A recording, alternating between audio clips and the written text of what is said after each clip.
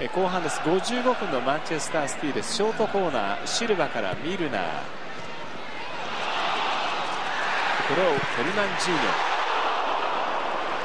これね強力なシュートだったんですけどチェルシーの両センターバックが本当にコースを消していたシーンですね。ええ。ね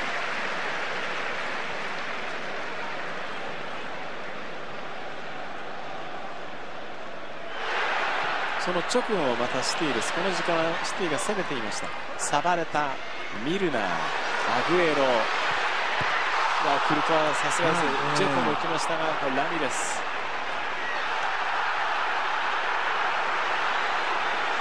ここは本当みんなうまいのねっていう。でここがちょっと残念なシーンです。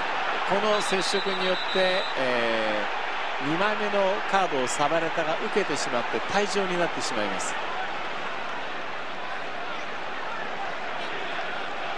まあ、このシーンだとねこうなるとねうんうんしょうがないなっていうね、ええ。まあ、そのいろんな駆け引きがね、うん。ボールのないところでもこの2人やってたんでしょうけどね。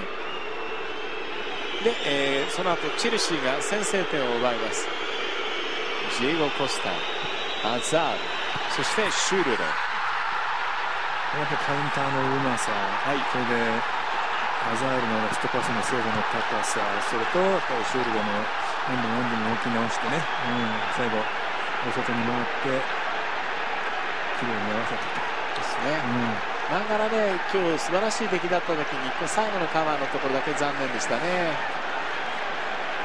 カートもあとちょっとでしたね。81分のチェルシー追加点を狙うというセスクからジエゴ・コスタ。これミルナーが左サイドバックに回っていたというシーンです、うん、ちょっと触ってんじゃ触ってると思いますこのねなんかね。回転を見るとね。うん。ちょっと変わってる感じねしますよね。しかし、えー10人になったシティシルバー。またミルナーミルナー。そしてランパード。最後にこんなドラマが待ってるとはね。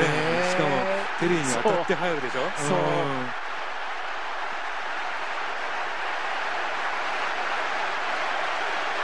なんかねしびれちゃいますねね。こういうゲーム